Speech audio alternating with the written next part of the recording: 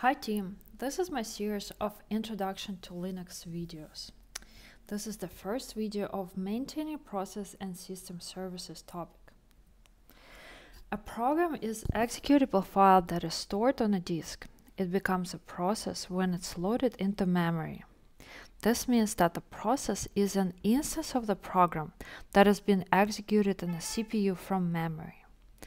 Then the process is created by running a program. It gets system resources allocated to it, including memory, CPU, a process ID number, or PID. Every process has a unique process number, ID. Each process also has a parent process that started it. All the processes started with the systemd. System D is the process that the kernel starts, and in turn it starts other processes. Systemd is the only process that the kernel starts directly. It's the grandfather of the processes. A process can spawn other processes called child processes.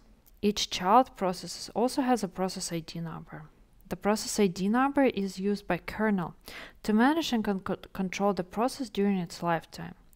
System administrators can use a process ID for setting and changing task priority and ending, ending task.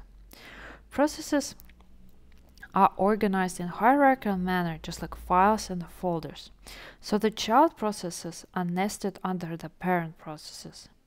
Then the process ends, it's reported back to the parent process. Then its resources are freed and the PID is removed.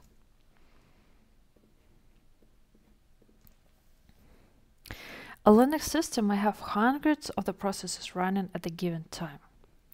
So the first tool I would like to look at is the tool to monitor processes.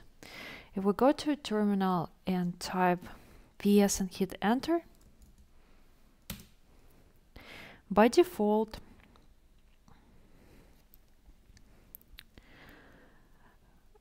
PS only shows the processes run by the user executing it.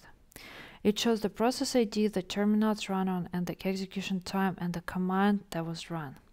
To get PS to display every process, we will add the dash E option at the PS command.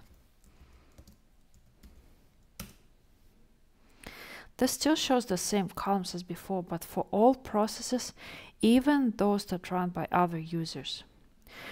To see which process start other processes, we can pass the hierarchy option by adding capital H to the command.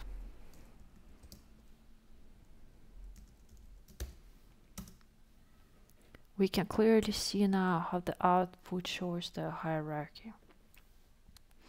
To see more information about all processes, let's add the dash F and hit enter.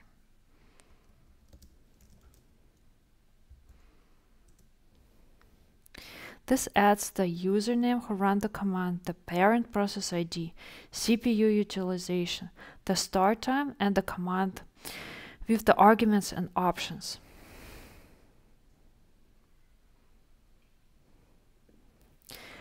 We can also add the dash L for long format. This gives us a full 17 columns of information.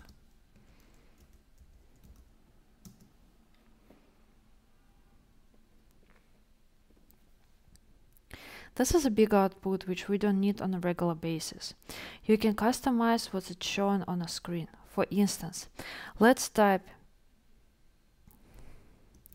ps-e space dash dash format UI UID PID PPID as percentage CPU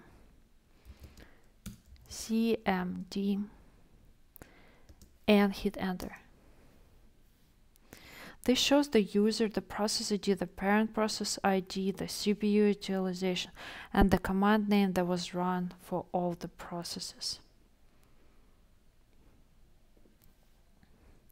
We can also sort on any of these fields, for example, by bringing the command back and adding dash dash sort space percentage CPU and hit enter.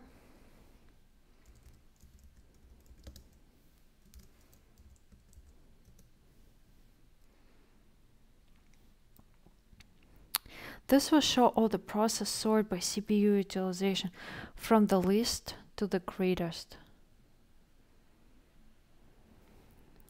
If you want to sort by greatest to, to least, you can bring your line back and place a hyphen before the percent CPU.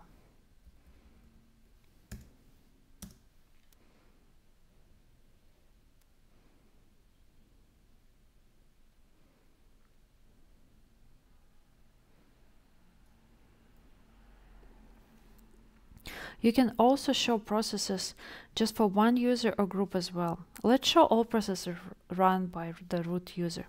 Type ps-u root and hit enter.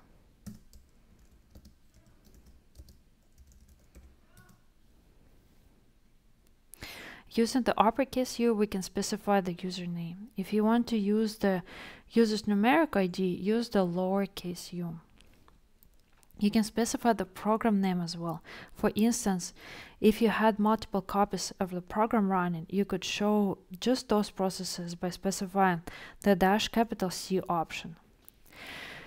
To conclude the first video in the series, I would like to show some useful array of the options for ps command. For example, type ps dash e dash dash format dash uid PID TTY percent CPU CMD space dash dash sort space percentage CPU and hit enter.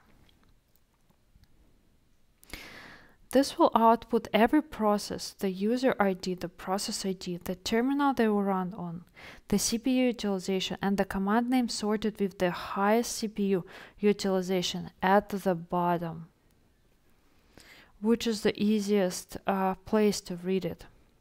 Another one uh, is ps-e dash dash format uid PID, RSS, CMD,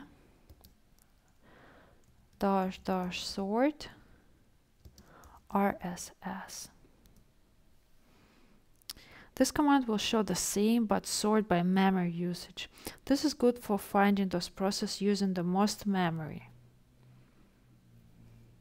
And again, it will sort in a way that the most greedy processes are shown at the bottom. I hope this was helpful. I'll see you in the next video.